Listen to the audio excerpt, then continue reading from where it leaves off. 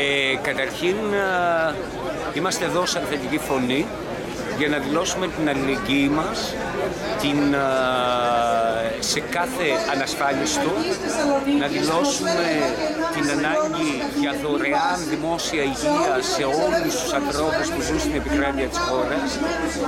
Είμαστε ανήσυχοι γιατί το τελευταίο διάστημα βλέπουμε όλο ένα και νέα παιδιά να διαγνώσκονται θετικοί στον ιό του HIV. Τα νέα παιδιά στο οποίο είναι άνεργα, ανασφάλιστα και θα πρέπει να διασφαλίσουμε τα νέα παιδιά που διαγνώσκονται να έχουν δωρεάν ε, πρόσβαση στην αντιρετροϊκή αγωγή.